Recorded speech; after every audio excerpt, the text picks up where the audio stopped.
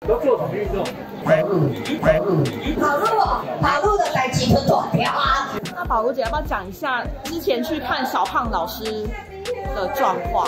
小胖老师就维持他的姐姐，几乎是二十四小时，一个钟头，他那个自己闹钟会响一次。季宝如情谱原为人病况，林松一脱口再跑路公开月花费。那宝如姐要不要讲一下之前去看小胖老师？的状况，小胖老师就维持。五十四岁小胖老师袁为人，二零一八年在上海跌倒，导致脑溢血昏迷，送医后发现脑部长肿瘤，去年传出被判定为植物人。他的二十岁儿子袁毅自编自导一支名为《风中》的短片，透露灵感来源正是自己跟袁为人的父子情。跟你爸。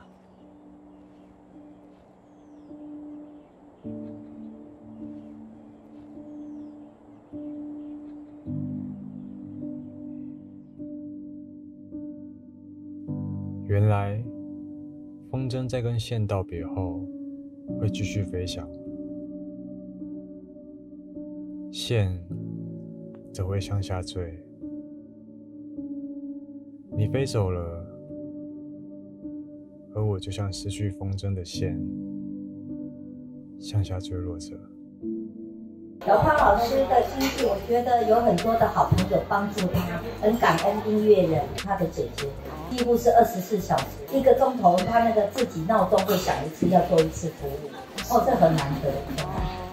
看了很感动，拍背或是什么，任何，我觉得他的姐姐妈妈很辛苦，也很伟大，这就是家人最棒的地方。八十一岁的秀场天王林松义，今年饱受帕金森氏症折磨，为了医药费还卖掉名下四栋房产。四号出席活动时表示，最近身体很好，都有做运动。都做什么运动？跑路，跑路，跑路哦，跑路的代志就大条啊，那叫跑步，了，八十几岁不用嘛。跑步跟跑步一样哦，好。松义哥的开销一个月，我觉得差不多三万多啦，因为他还有一个就是要帮照顾他的人。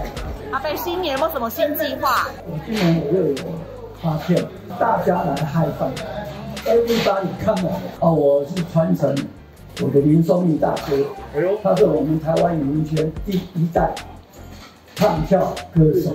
我今年七十六岁，嗯，那我希望跟大哥一样那种精神啊，啊，永远不会磨灭。我希望传承到九十岁、一百岁，给大家参考的。我是吃素食，常斋四十年以上，我三餐都吃在。以前人家说阿里脚踩地，扔咖，一般在跳舞，结果我跳到现在还是这样，还是地板动作，还是反骨。